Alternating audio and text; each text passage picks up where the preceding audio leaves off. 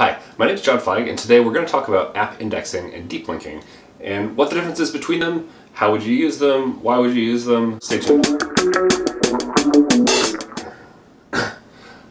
Let's start off with the difference between deep linking and app indexing, since I think this is a point of confusion for a lot of developers, and it seems like they're kind of fuzzy, like what the difference is between these two concepts. Deep linking is actually really old, it's been around since I think the beginning of Android, and all it is, deep linking, it's just you click a link and it opens in your app. So it's telling the Android system, hey, I can handle this sort of scheme, and this is my, my host name, and when somebody clicks a link, don't send it to the browser, I'll open it in my app. That's all deep linking is. App indexing is then just reporting back to Google what you see on the screen. So you're in, you know, you're looking at some content on a web page, you're looking at a news story, you're looking at a blog post, you're just telling Google, this is the URL, this is how I get to it on my app, and the user's visiting that. That's all app indexing is. And when you use these two things together, it allows you to do a couple things. So you can get uh, autocomplete search results um, in the Google search bar. And the other thing that it gets you is when a user searches uh, a search term and you show up in those search results, you'll get a nice little app badge and a potential install button um, on there. So if, uh, if the user ha has your app, they'll just see the app badge, they can click on it, it'll say the, the app is installed. Um, if they don't have your app yet, you get the app badge and it'll say install um, and or get or something like that. And then the user can click on that, take them to the Play Store, uh, it opens up the page in the Play Store, they install your app there, and then instead of having an open button, they have a continue button. And what that does is it takes them right to the content in your app. Um, so it's really handy. Uh, but that's that's the basic difference between deep linking and app indexing. Deep linking is how you're telling the system, I can open these links in my app. App indexing is just reporting back to Google the activities that the user's done in your app. I'd like to give a little bit of an overview of what's involved in getting this set up before um, we jump into how to do it. First thing that I'm going to assume is you have a website with some content. So this video and talk is a little bit more focused on people who have both websites and apps. Um, if you're just doing an app, then uh, there might be some some slightly different things that you have to do. I haven't run through those examples quite yet. What you're going to do if you have both a website and an app is you first go to the Google Search Console. You register your domain. You, you want to make sure that um, you register both the HTTPS and HTTP versions of your site, as well as any like subdomains like www or uh, anything else you might have um, anything that shows up in the search results, anything people link to, you need to make sure it's covered in the Search Console. That's really key. Uh, next, you're gonna, you know, you're gonna go into your app. You're gonna implement in your manifest the intents filter. So you want to make sure that you're handling these things. Uh, any link for your site that you want to open in your app, you have to specify in the intents filter in your manifest.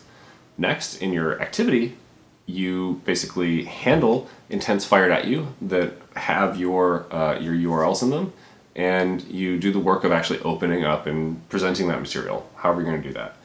Uh, once that material is presented, you're going to fire off some uh, API calls to the app indexing API. You're going to tell it, I'm starting to view this content. Once you're finished viewing content, you're, the user is leaving, you fire off an end command to the app indexing API. Very simple. Uh, from there, you need to publish your app. So it's you, you, can't actually do a lot of the steps without publishing your app. Um, you can test some stuff, but to get the full, you know, kind of end-to-end experience, it's got to be published. So do that. And then in the Play console, there's a way to verify URLs there, and you're gonna just basically put in the same properties that you registered before in the Search console. And the same properties that you're handling in your intents filter. You need to do this in all those places. Then, once that's done, there's one last step. You go back to the Search Console, so the Google Search Console, not in the Play Developer Console. In the Google Search Console, you're going to register your Android app there. So it's you create a new property and it's Android-app colon slash slash, and then your package name, as opposed to like HTTP slash slash your website. Um, this is your you know Android app, your package name, um, and then that's like a special thing there and it shows up differently than your web properties do.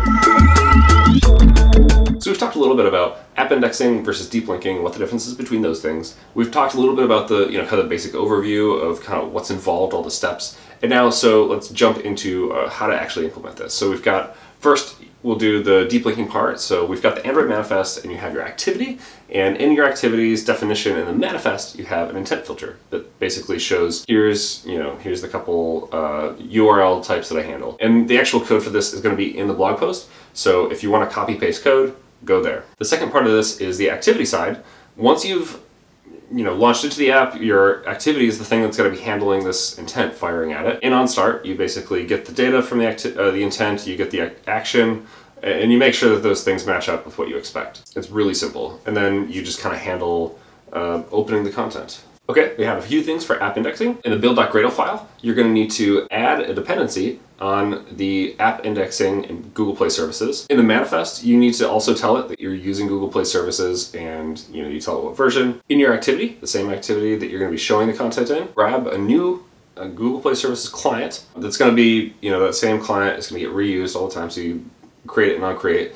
And then in OnStart, uh, whenever you load up your content, you're going to call the app indexing API and say, I'm starting to look at this URL and here's the URI inside my app to get to the same content. Um, and that basically, you know, if you're doing it for a public uh, public website, it just ties those two together. You, you tie the public URL to the local content, uh, the app URI. Or you can actually just do this like just in-app stuff with the app URI. Um, and I'm not as clear on what that buys you if you're just doing it in-app. I think it's for the autocomplete. I don't know if you get the full search results if it's just in-app stuff. And then when you finish your session, you're going to call uh, appindexapi.end with whatever content you're currently looking at at the end.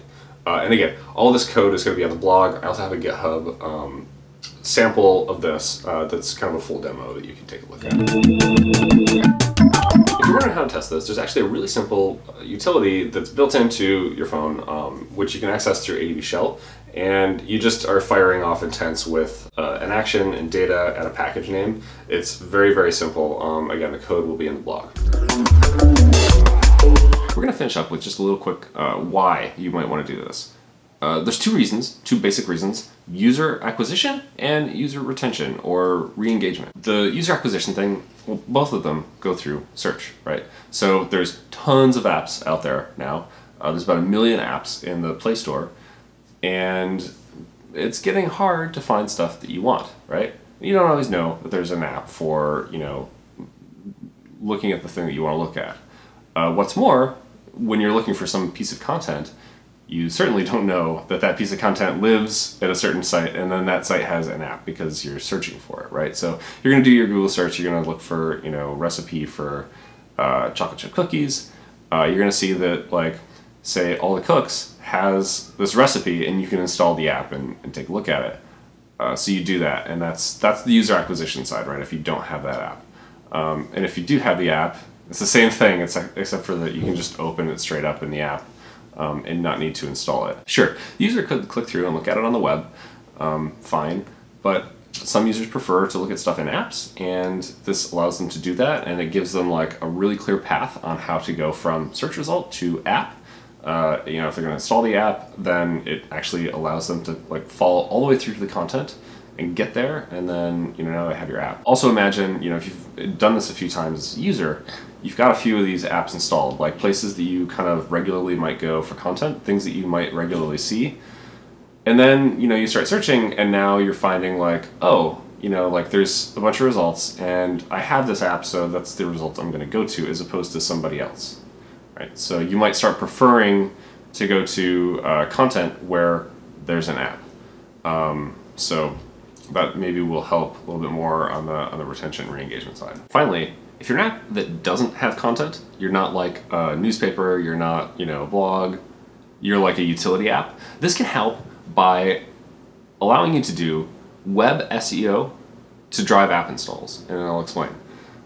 If you have a website already, or if you don't, make one uh, that just has like a homepage and about page. You tell people, you know, all about your great app and what it does, all the features and why they should install it and all this stuff. You can mirror that content right in your app.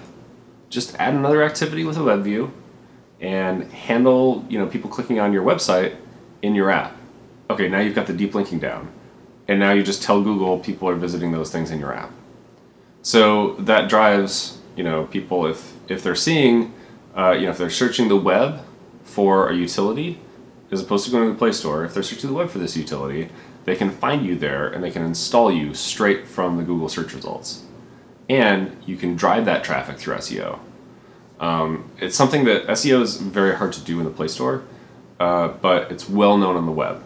So that might be um, another benefit for, for this for people who don't have uh, content-based apps. All right, thanks for watching. Check out the blog for um, all the code and links to the, the demo project.